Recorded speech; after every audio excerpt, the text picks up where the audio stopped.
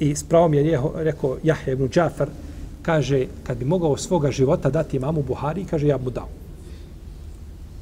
Jer kaže, moja smrt je smrt insana, običnog, a kaže, smrt Buhari je smrt, ili kaže, to je, to je nestanak zdanja na zemlji.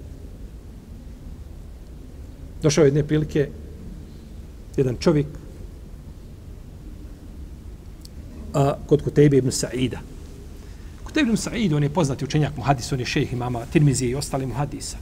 On je umro 240. iđarske godine.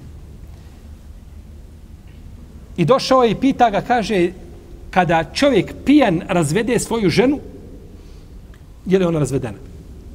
Čovjek ušao, ne zna, evo tako, jedva pogodio vrata u onom haustoru da uđe i ušao unutra i razvede ženu. Je li taj talak validan ili nije validan? Pita Kutej ibn Saida, ovaj čovjek. Naravno, islamski učenja se razišlo oko pitanje čovjeka koji razvede ženu dok je pijan. Ako, ako ga je neko opio na silu, donio mi kaže pi. I na silu pio, to, taj talak nije validan, definitivno. Međutim, on svojim izborom pio i pio i pio i opije se i dođe razvede ženu. Ne zna šta priča, nikako, nije pri sebi. Razveo ženu. Je li validan talak? Kod džumhura u Leme. I Hanefije, i Malikije, i Šafije kažu ona je razvedena. On sam došao, sam pao, sam se ubio. Je u redu? Sam si pio, sam sebe dovio tu situaciju, izgovorio. Ima jedna skupina učenjaka koji kažu da taj da to se ne tretira razvodom. I Allah alem da je to da bi to prije odgovaralo ovaj ovaj pravilnik u islama.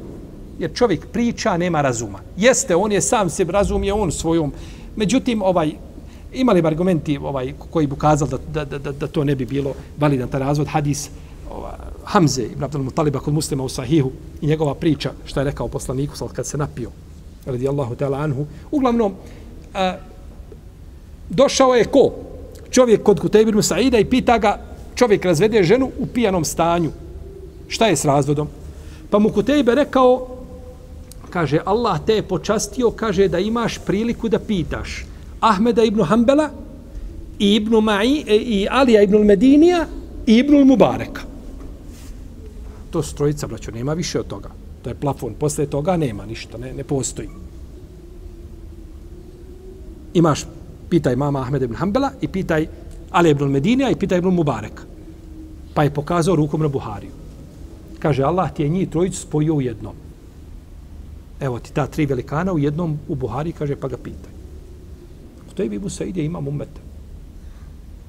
Možete misliti ka, ka, kakvo je mjesto uživao i zato kažu učenjaci za Isabura, kažu Buharija je bio, kaže, veći fakih od Ishaka ibn Rahawaja muhadis to da ne pričamo, svakako. Isak je bio veliki muhadis, međutim, tiče hadisa, nema niko poput Buhari. Ali kaže i po pitanju fikha, i zato kad bi neko rekao, sledi u fikhu, mesebi mama Buharije ne bi pogriješio.